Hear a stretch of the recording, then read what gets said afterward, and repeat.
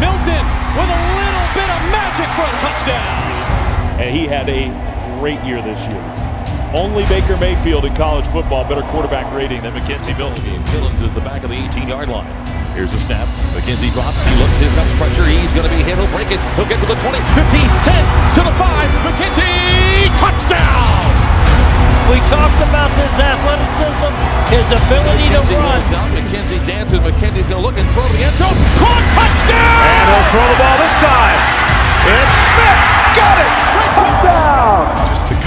the vision, the ability to sling it. Difference maker. Special player, just a sophomore. He's coming back in, steps up, that quickness, there he goes.